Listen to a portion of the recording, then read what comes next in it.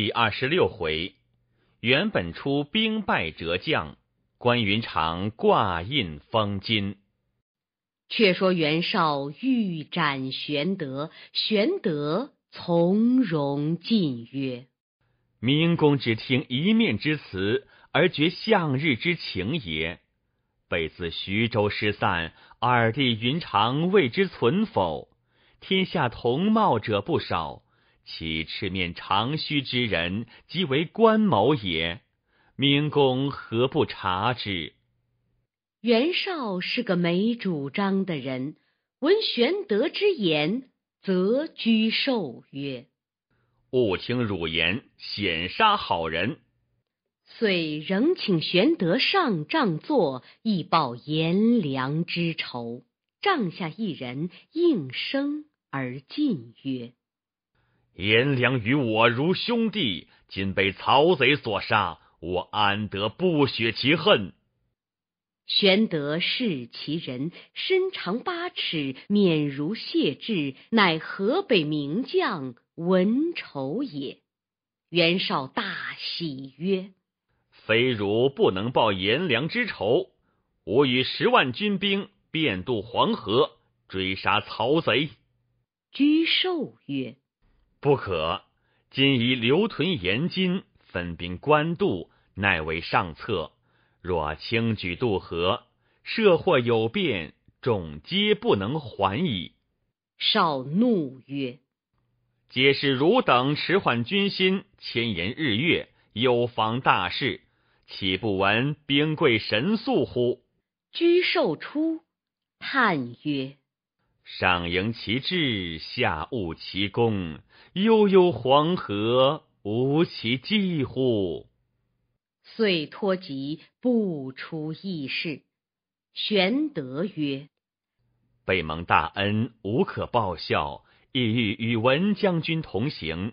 一者报明公之德，二者就探云长的实信。”少喜，唤文丑与玄德统领前部。文丑曰：“刘玄德屡败之将，于军不利。”即主公要他去时，某分三万军，叫他为后部。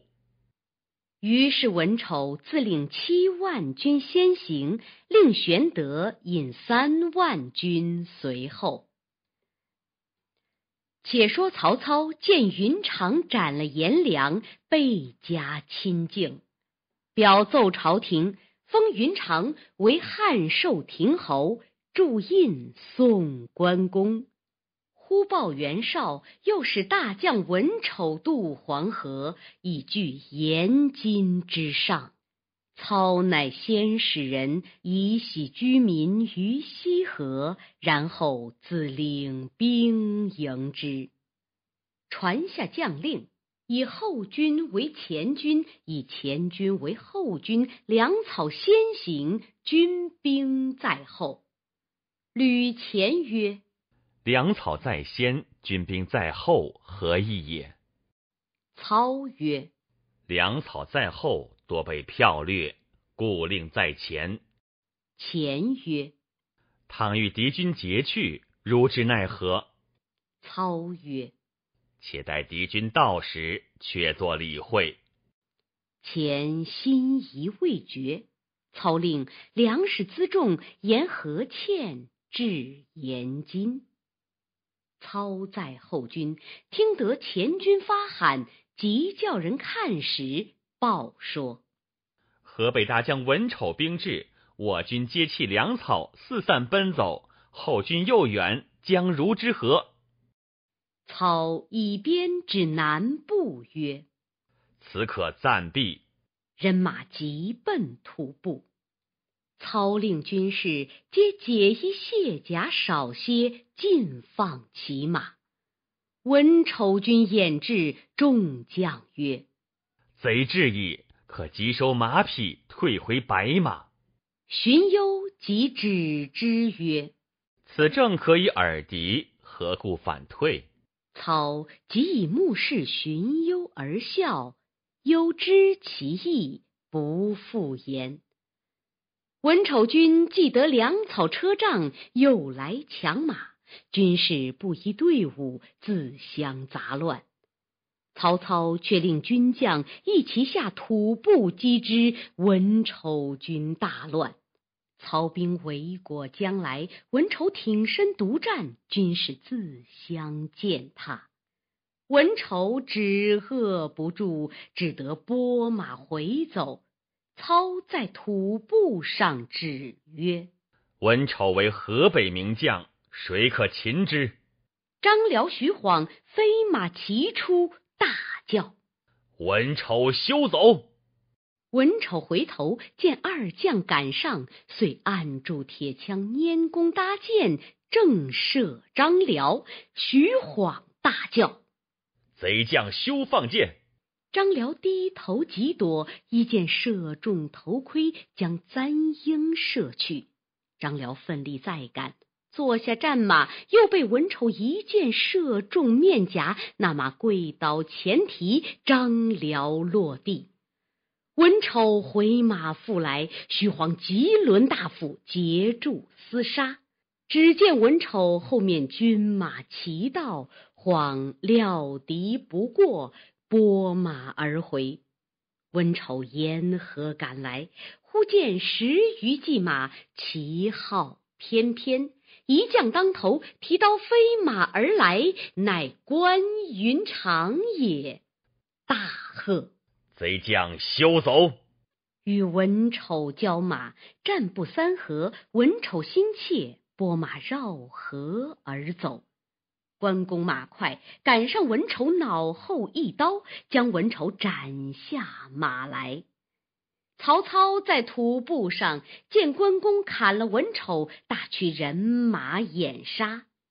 河北军大半落水，粮草马匹仍被曹操夺回。云长引数骑东冲西突，正杀之间。刘玄德领三万军随后到，前面哨马探之，报与玄德云：“金帆又是红面长髯的，斩了文丑。”玄德慌忙骤马来看，隔河望见一簇人马往来如飞，旗上写着“汉寿亭侯关云长”七字。玄德暗谢天地曰。原来吾弟果然在曹操处，欲待招呼相见，被曹兵大队拥来，只得收兵回去。袁绍接应至官渡，下定寨栅。郭图、沈沛入见袁绍，说：“今番又是关某杀了文丑，刘备佯推不知。”袁绍大怒，骂曰：大耳贼，焉敢如此！少顷，玄德至，少令推出斩之。玄德曰：“某有何罪？”少曰：“汝故使汝弟，又坏我一员大将，如何无罪？”玄德曰：“容身一言而死。曹操素忌备，今之备在明公处。”恐被助攻，故特使云长诛杀二将。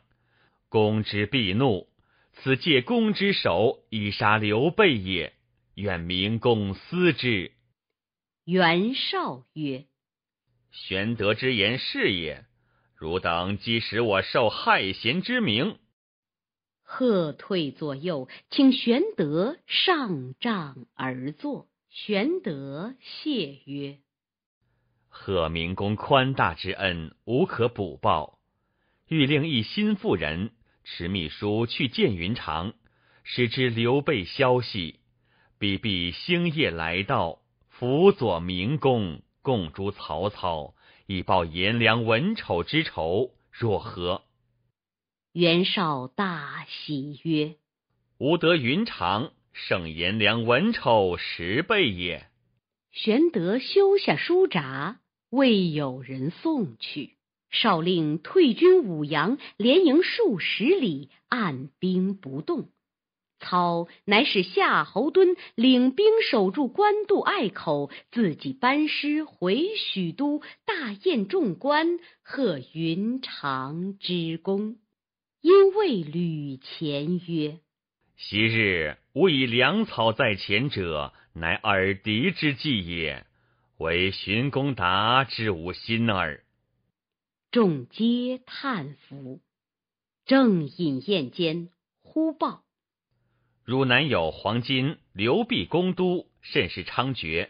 曹洪累战不利，其遣兵救之。云长闻言，进曰：“关某愿施犬马之劳，破汝南贼寇。”操曰：“云长建立大功，未曾众筹，岂可负劳征进？”公曰：“关某久闲，必生疾病，愿再一行。”曹操壮之。点兵五万，使于禁、乐进为副将，次日便行。荀彧密谓操曰：“云长常有归流之心，倘知消息，必去，不可频令出征。”操曰：“今次收功，吾不复教临敌矣。”且说云长领兵将进汝南，扎住营寨。当夜，营外拿了两个细作人来。云长视之，内中认得一人，乃孙乾也。关公斥退左右，问乾曰：“公自溃散之后，一向踪迹不闻，今何谓在此处？”前曰：“某自逃难，漂泊汝南，幸得刘弼收留。今将军为何在曹操处？为时甘糜二夫人无恙否？”关公因将上相事细说一遍。前曰：“仅闻玄德公在袁绍处，欲往投之，未得其便。今刘公二人顺归袁绍，相助公曹。”天幸得将军到此，因特令小军引路，叫某为细作来报将军。来日二人当虚拜一阵，公可速引二夫人投袁绍处，与玄德公相见。关公曰：“己兄在袁绍处，吾必星夜而往。但恨吾斩绍二将，恐今事变矣。”前曰。吾当先往探彼虚实，再来报将军。公曰：“吾见兄长一面，虽万死不辞。今回许昌，便辞曹操也。”当夜密送孙乾去了。次日，关公引兵出，公都披挂出阵。关公曰：“汝等何故背反朝廷？”都曰。汝乃背主之人，何反责我？关公曰：“我何为背主？”都曰：“刘玄德在原本出处，汝却从曹操，何也？”关公更不打话，拍马舞刀向前，公都便走。关公赶上，都回身告关公曰：“故主之恩不可忘也，公当速进。”我让汝南。关公会意，驱军掩杀，刘公二人杨叔诈败，四散去了。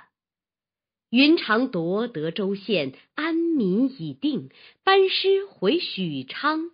曹操出郭迎接，赏劳军士。宴罢，云长回家，参拜二嫂于门外。甘夫人曰：“叔叔两番出军，可知皇叔音信否？”公答曰：“未也。”关公退，二夫人于门内痛哭曰：“向皇叔休矣！二叔恐我姊妹烦恼，故隐而。”不言。正哭间，有一随行老君听得哭声不绝，于门外告曰：“夫人休哭，主人现在河北袁绍处。”夫人曰：“汝何由知之？”君曰：“跟关将军出征，有人在镇上说来。”夫人即召云长，责之曰：“皇叔未尝负汝，汝今受曹操之恩，顿忘旧日之义，不以实情告我，何也？”关公顿首曰：“兄今委实在河北，未敢叫嫂嫂之者，恐有泄露也。事须缓图。”不可欲速。甘夫人曰：“书已上紧，公退，寻思去计，坐立不安。”原来于禁探知刘备在河北，报与曹操。操令张辽来探关公意，关公正闷坐，张辽入贺曰。闻兄在镇上之玄德音信，特来贺喜。关公曰：“故主虽在，未得一见，何喜之有？”辽曰：“兄与玄德交，彼弟与兄交何如？”公曰：“我与兄朋友之交也，我与玄德。”是朋友而兄弟，兄弟而主臣者也，岂可共论乎？辽曰：“今玄德在河北，兄往从否？”关公曰：“昔日之言，安肯背之？文远须为我致意丞相。”张辽将关公之言回告曹操，操曰。吾自有计留之。且说关公正寻思间，忽报有故人相访，即请入，却不相识。关公问曰：“公何人也？”答曰：“某乃袁绍部下南阳陈震也。”关公大惊，急退左右，问曰：先生此来必有所为。朕出书一笺，递与关公。公视之，乃玄德书也。其略云：备与足下自桃园地盟，是以同死。今何中道相违，割恩断义。君必欲取功名，图富贵。愿献被首级，以成全功。书不尽言，死待来命。关公看书毕，大哭曰：“某非不欲寻兄，乃不知所在也。安肯图富贵而被救盟乎？”朕曰：“玄德望公甚切，君既不被救盟，宜速往见。”关公曰：“人生天地间，无忠实者，非君子也。吾来时明白，去时不可不明白。吾今作书，樊公先达之兄长，荣某辞却曹操，奉二嫂来相见。”朕曰：“倘曹操不允，为之奈何？”公曰：“吾宁死。”岂肯久留于此？朕曰：“公速作回书，免致刘使君悬望。”关公写书答云：“妾闻义不负心，终不顾死。与自幼读书，粗知礼义。观羊角哀、左伯桃之事，未尝不三叹而流涕也。前手下业。”内无激素，外无援兵，欲及孝死，乃有二嫂之重，未敢断手捐躯，致父所托，故而暂且积身，寄图后会。进至汝南，方知兄信，即当面辞曹公，奉二嫂归，与但怀一心，神人共路，披肝沥胆。彼处难穷。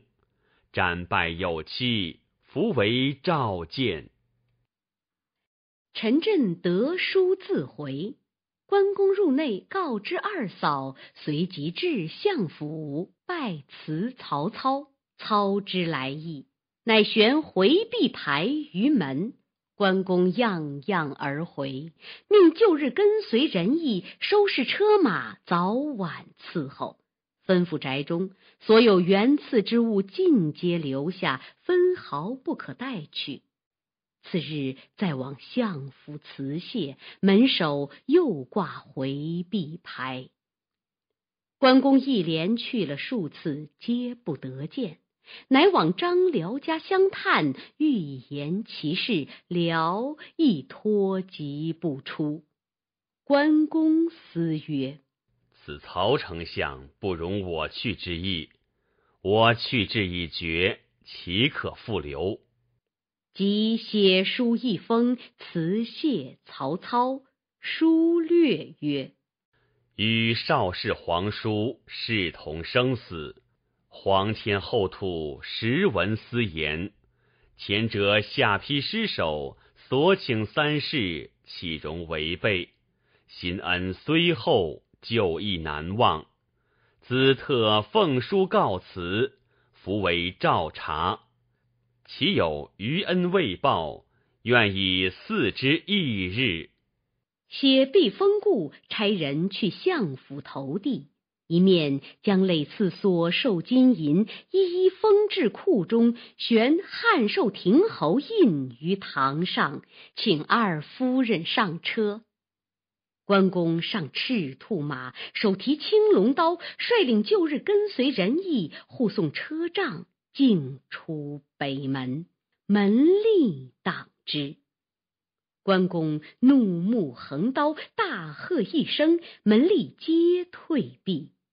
关公既出门，谓从者曰：“汝等护送车仗先行，但有追赶者，吾自当之，勿得惊动二位夫人。”从者推车往官道进发。却说曹操正论关公之事未定，左右报关公成书。操急看毕，大惊曰：“云长去矣！”忽北门守将飞报，关公夺门而去，车仗鞍马二十余人，皆望北行。又关公宅中人来报说，关公进封所赐金银等物。美女十人，另居内室。其汉寿亭侯印悬于堂上。丞相所拨仁义，皆不带去，只带元根从人及随身行李，出北门去了。众皆愕然。一将挺身出曰：“某愿将铁骑三千，去生擒关某，献与丞相。”众视之，乃将军蔡阳也。正是欲离万丈蛟龙穴，又遇三千狼虎兵。蔡阳要赶关公，毕竟如何？且听下文分解。